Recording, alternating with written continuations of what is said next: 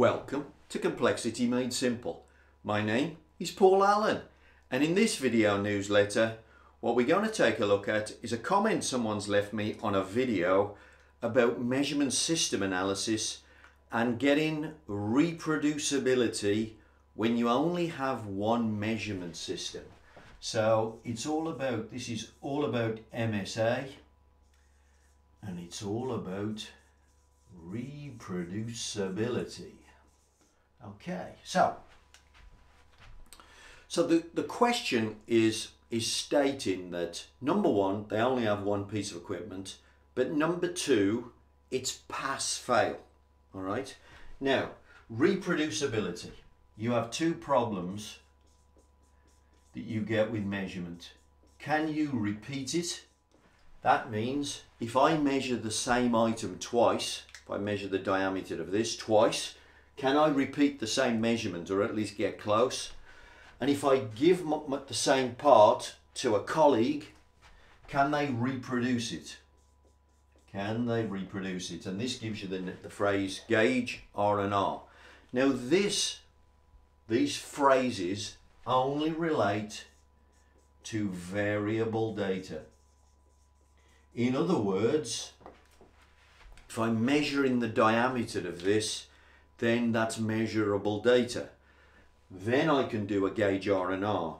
If what I was doing was inspecting the print and just saying pass fail, this has no place in that type of MSA. Okay, so that's the first thing. So the first thing which is an answer to your question is this is not valid for pass fail. Okay, that's the first thing. Now, just before I, I move on to another part of this video, um, th this is a genuine problem. When people only have one piece of equipment, so they've bought some fancy uh, electronic AI guided measuring system and they can only afford one of them. So they go, I only got one. How do I do this? Well, you don't do this. There is no reproducibility when you've only got one measurement system. The key point though, by the way, is if you use software the software will give you um, an option to use the X bar R method. The usual method is ANOVA.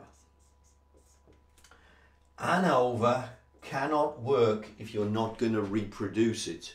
So the X bar R method will work out just this this component here for you. This is the only technique that works when you have one measurement system. and ANOVA won't work when you have one measurement system. So if you have variable data and you have this problem, there's your solution. Use your software, but go X bar R. You won't get a uh, obviously a reproducibility component because you're not trying to reproduce the result. So that's the real answer.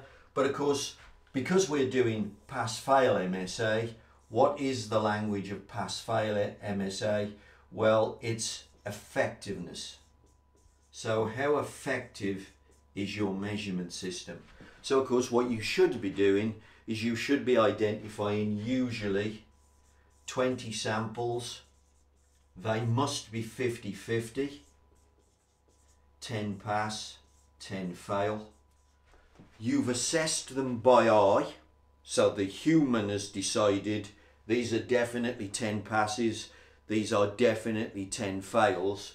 And then what you do is you give that to your measurement system. So you give that to your measurement system and of course you see how many they get right.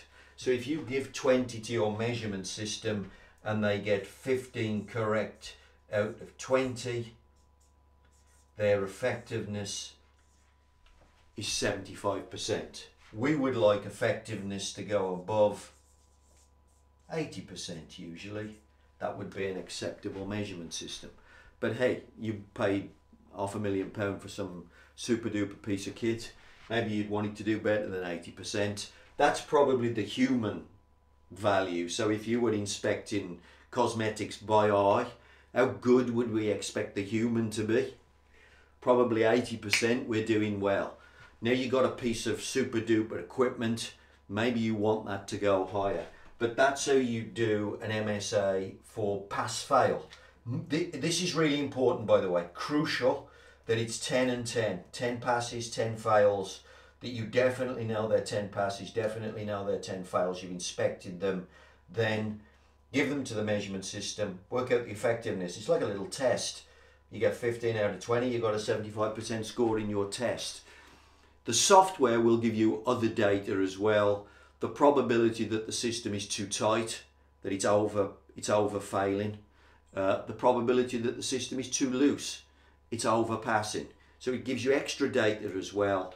But just to answer the simple question, can I do re reproducibility?